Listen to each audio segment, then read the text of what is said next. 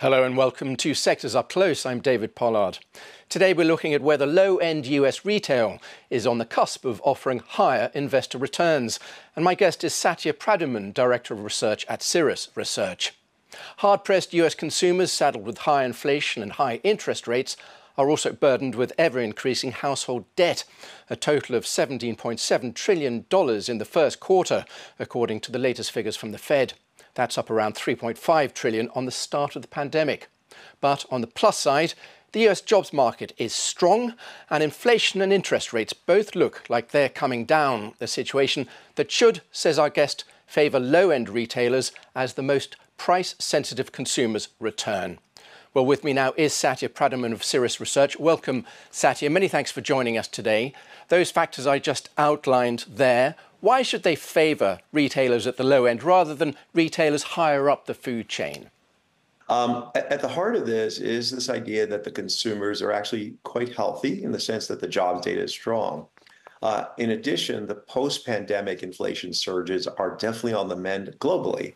The counterpoint to this, however, is that mortgage rates are, or mortgage payments are high. Those are going to be very sticky the next few years. In addition to that, other very specific market-based uh, elements, such as insurance costs in the US, very high.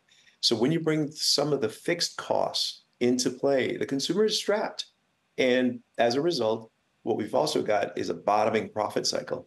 So you've got this sort of like comparisons for retailers that are actually going to be easier that allows those firms to basically relate stronger growth.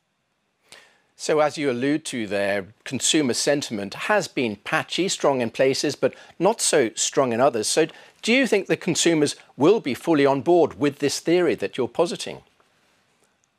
Yeah, I mean, I think they're forced to. at the end of the day, um, if you look at the total costs that they're taking on in terms of groceries and day to day needs, they're high.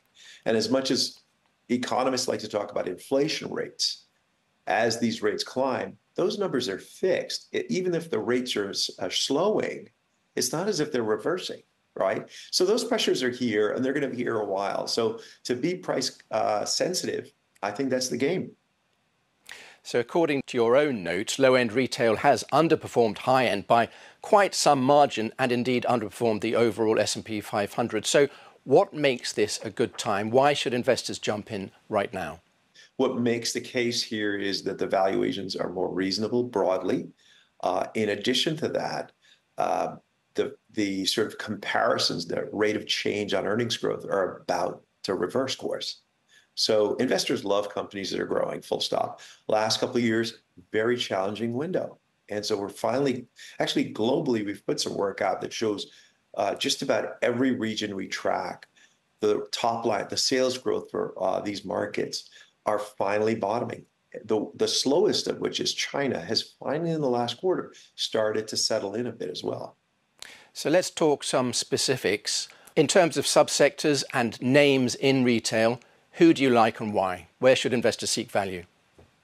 Yeah, our um, industry work and the sub-industry work that we're doing, they surface two groups that are quite attractive. Specialty retailers and general merchandisers. On the specialty side, firms such as Dick's Sporting Goods, Tractor Supply, these firms are um, scoring very well in our work. Um, on the merch, general merchandise side, you know, the classic names Walmart, Costco. Also, if you go smaller, uh, Dollar General. So those are names that I think hold up very well. Those are industries that should start to stabilize and, and start to recover. Let's compare and contrast with high end retail.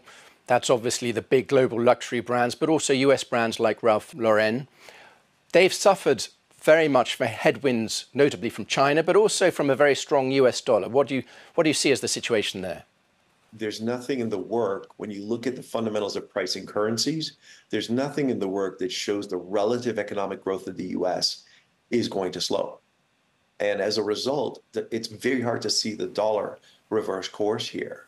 And so I think the pressures on the luxury goods, I think they're going to be sustained for a while. So, against that backdrop, would you bet that low end retail stocks will be higher by year end? The the jobs data is strong unless we get some sort of random event that that throws that off. But this is a big ship to turn. So some of the comparisons we're looking at, they're fairly steady. You've got a consumer that's going to chug along. And uh, that said, they're just going to be more price sensitive.